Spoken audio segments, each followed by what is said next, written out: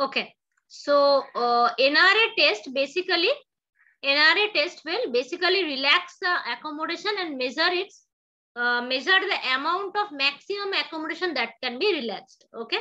So normal value of NRA is plus 2.5, right? And PRA is actually by PRA test, we are, what we are doing, we are uh, stimulating the accommodation. We are stimulating the accommodation and measuring till how much accommodation can be stimulated. Okay.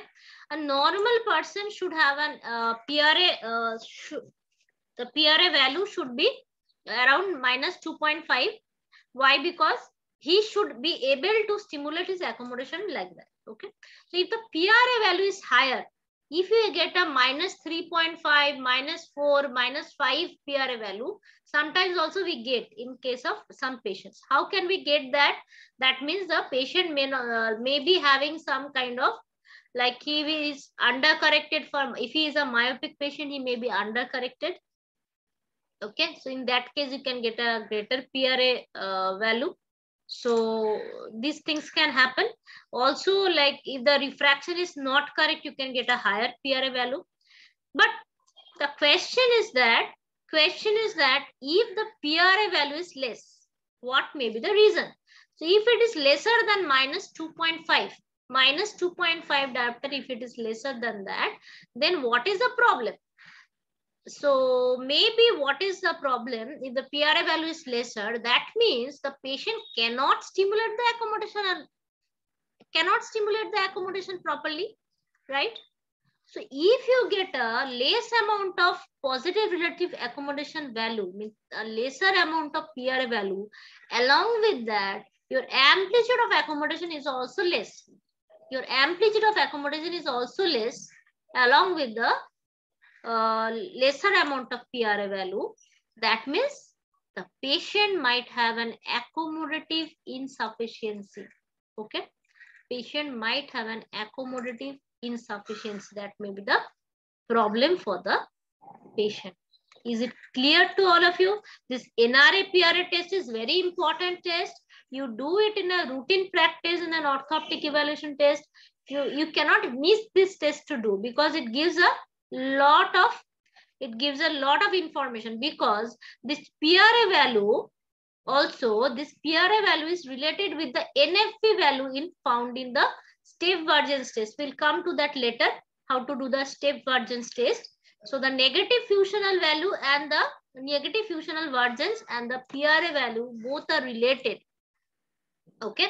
Basically PRA value and NFV value should correlate, should be correlated with each other.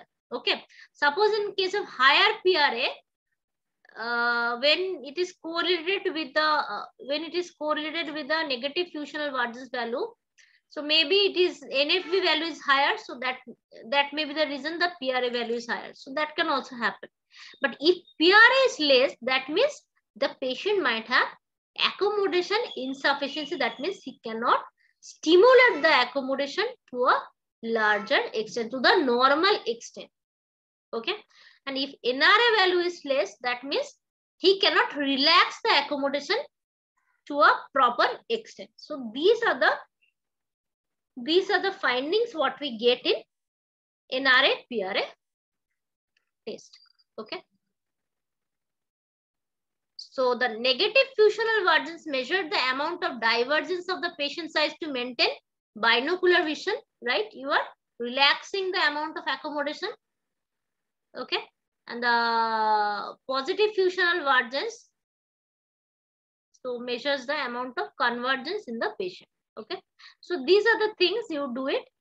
And then again, another, another parameter to measure accommodation is your dynamic retinoscopy. That is your monocular estimation method. Monocular estimation method or a dynamic retinoscopy, you do it to measure accommodation. So these are the accommodative components you measure in an orthoptic evaluation test. Okay. So dynamic retinoscopy, you can use a Welch Allyn retinoscope. You can see that there is one magnet in the Welch Allyn retinoscope. Okay. A magnet is present in the Welch Allyn retinoscope. So where you can attach this uh, cards, the dynamic retinoscopic cards that is present, that is uh, there in the Welch Allyn kit, Welch Allyn retinoscope kit, these dynamic retinoscopic cards are there. There may be some uh, uh, diagrams, uh, some animals also there. So for children, if you're doing a dynamic retinoscopy, you can use those children targets like animals and all. There are letters you can see, okay? So there are letters and all. So you attach that card with the help of the magnet in the uh, Allyn retinoscope, okay? Now you can see that the retinoscopic that uh, where the retinoscopic light will come that area is kept vacant right so that so that uh, from that area the light rays will fall on the patient's eyes and also the peephole of the retinoscope you can see the reflex so dynamic retinoscopy how it is done okay you put the static correction that means whatever refractive error the patient is having put it on the trial frame bilaterally put it bilaterally on the trial frame okay so suppose a patient is having minus 1 in both eyes, put minus 1 in the both eyes. But do not put any kind of working distance lens. Okay. No need to put any kind of working distance lens. So only the, only the, uh, these things, uh, the corrections the patient will be wearing. Right. So now what you are going to do? So now you are going to put on the near lamp. Okay, the near uh, near vision lamp is there, right? To read. So light that near vision lamp. Give a target. Uh, give a target at 40 centimeter to fix it. Okay. Uh, sorry, no need to give a target at 40 centimeter. So this retinoscope you are holding in front of your eyes. So the retinoscope is having that target over there. So Welch Allyn retinoscope, if you are sticking that target over there, the patient need to read aloud the letters in that target. Okay. So means uh, it is there, he will uh, read it aloud like this L, O, O, K, P, U, like this, he will read aloud the letters. Okay.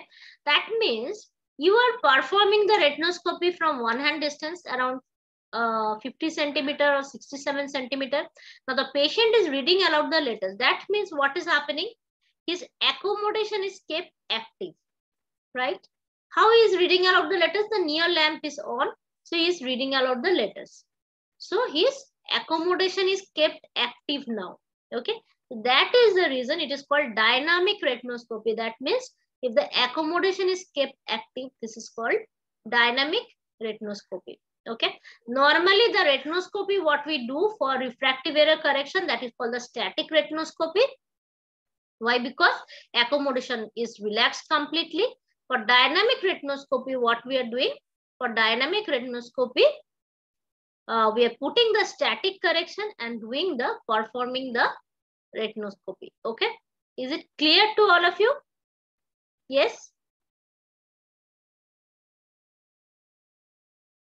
So this dynamic yes, card is okay. So dynamic card is attached to the retinoscope.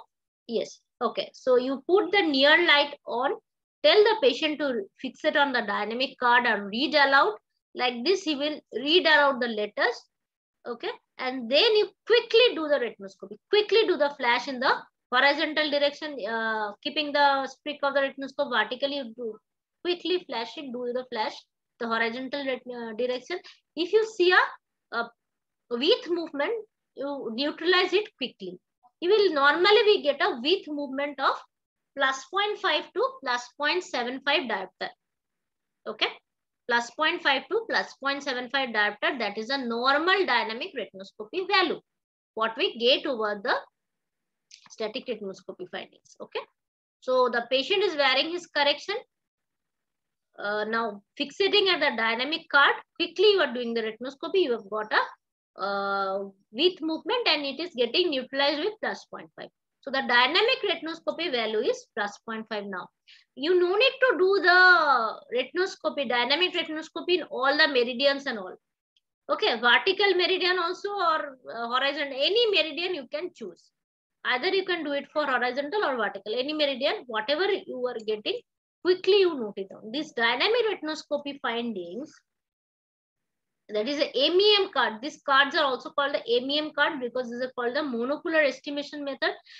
The normal dynamic retinoscopy finding is plus 0.5 to plus 0.75 diopter of lag of accommodation.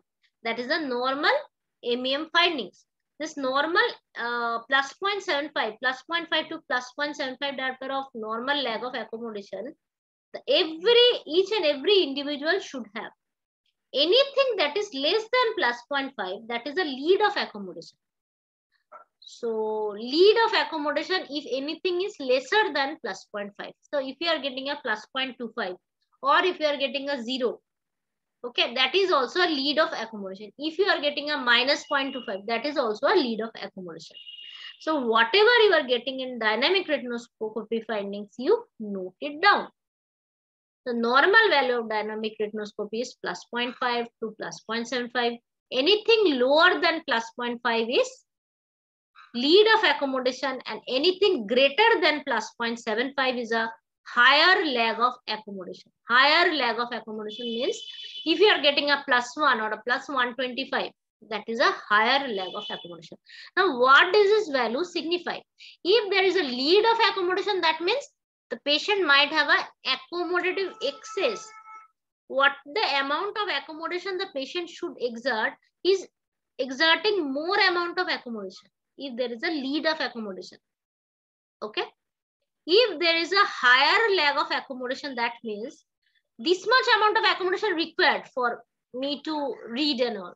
So I cannot exert this much amount of accommodation. So there may be a chance of accommodative insufficiency if you get a higher amount of lag of accommodation. Anything around plus, uh, anything greater than plus 0.75 is a higher lag of accommodation. That means the patient might have an accommodative insufficiency.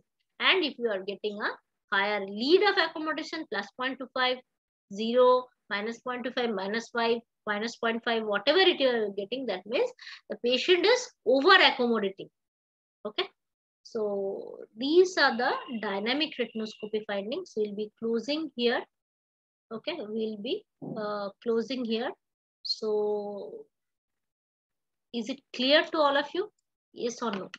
Tell me. Any questions till this?